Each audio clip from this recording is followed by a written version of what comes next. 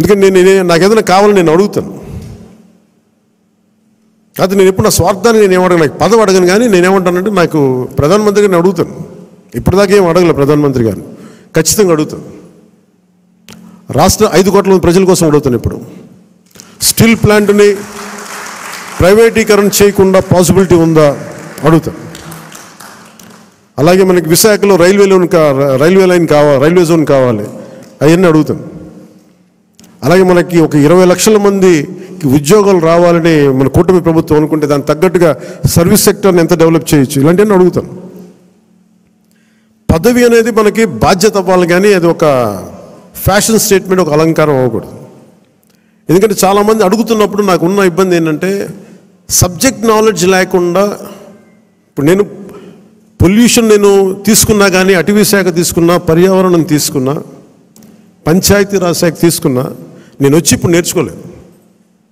నేను కనిపించడం మీకు పొలిటికల్గా న్యూస్ లేదంటే ఒక నాయకుడిగా కనిపించవచ్చు కానీ పబ్లిక్ పాలసీని చాలా లోతుగా అధ్యయనం చేసి వచ్చినవాడిని నేను.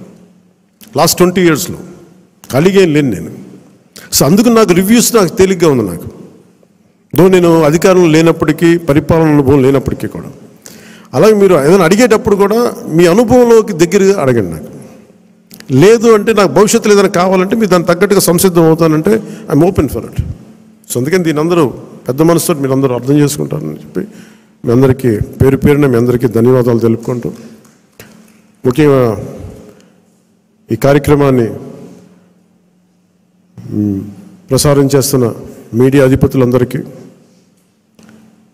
ముఖ్యంగా ఈ మేము ఇరవై ఒక్క మంది మేము గెలవగలిగాం.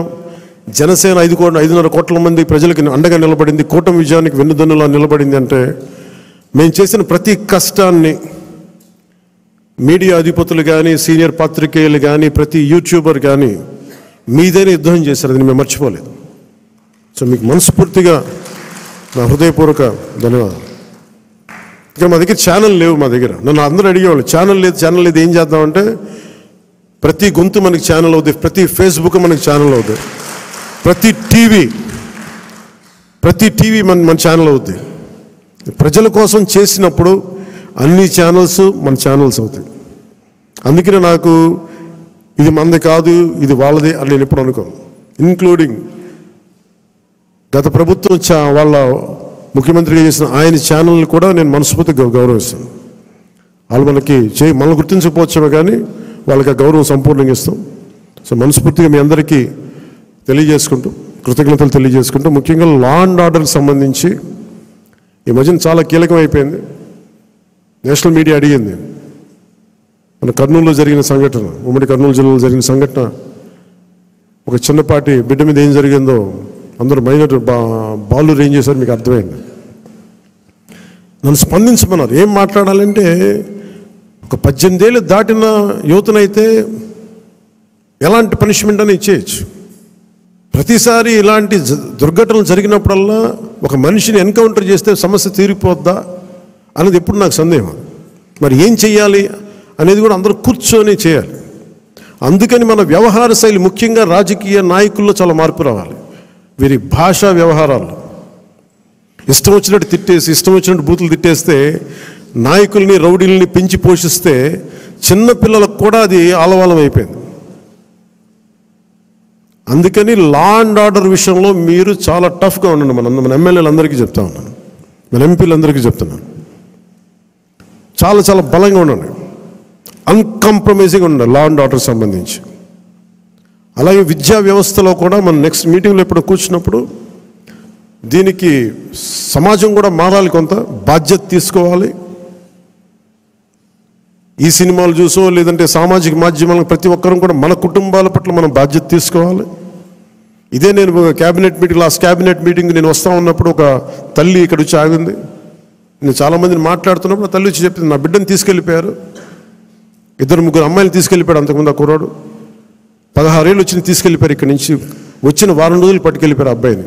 ఆ తొమ్మిది నెలలు అయిపోయింది ఎవరికి చెప్పుకోవాలో తెలియట్లేదు. కంప్లైంట్ ఇచ్చాం మాచవరంలో అంటే మన కేకే గారిని పంపించి వెంటనే కన్సర్న్ పోలీసు అధికారితో మాట్లాడితే తొమ్మిది నెలల్లో సాధించలేనిది తొమ్మిది రోజుల్లో తీసుకురాగలిగాం ఇది ఇది ఎందుకు చెప్తున్నానంటే మేము విజయం అని కాదు ఒక చిన్నపాటి అధికారం ఇంత చేయగలదు.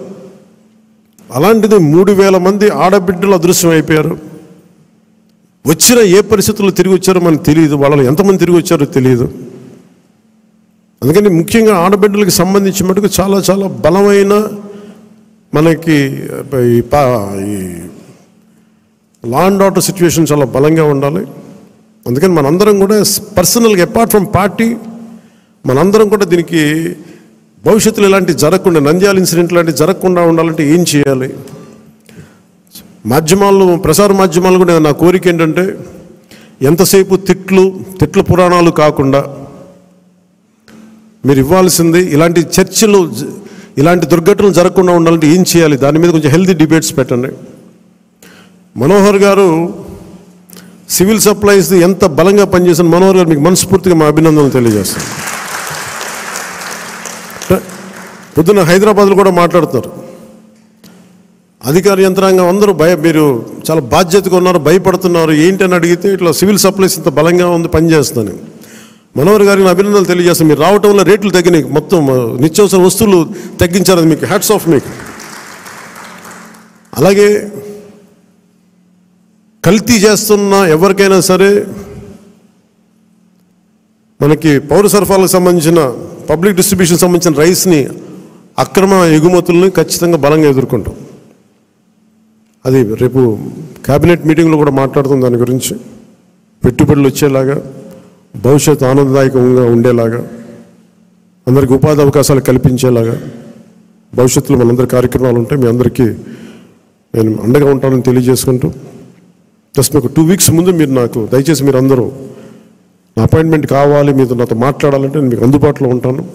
నాతో కాకుండా నాతో పాటు కాకుండా మన నాయకులు కూడా ఇక్కడే వారానికి ఒక్కొక్క ఎమ్మెల్యేని ఇక్కడే ఉండమని చెప్పాను. దాదాపు నెలలో ముప్పై రోజులు ఉంటే మనకున్న ఇరవై మూడు మంది నాయక ఎమ్మెల్యేలు కానీ ఇద్దరు ఎంపీలు కానీ ఇరవై మూడు మంది నాతో సహా రోజుకి ఒకళ్ళని చొప్పున ఇక్కడ ప్రత్యేకించి మీకు అందుబాటులో ఉంటాం.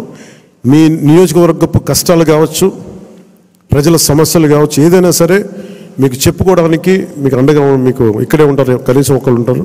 సో ఈ సందర్భంగా మీ అందరికీ ప్రతి నియోజకవర్గాన్ని ప్రతి ఎమ్మెల్యే గారికి కానీ ప్రతి ఎంపీకి ప్రతి ఒక్కరు కూడా కేంద్ర కార్యాలయంలో ఒక రోజు మీరు గడపాలి ప్రజలకు అందుబాటులో ఉండాలని నేను సందర్భంగా కోరుకుంటాను. సో మీ అందరికీ ధన్యవాదాలు తెలియజేసుకుంటూ సెలవు తీసుకున్నాను. జై జనసేన జై హింద్.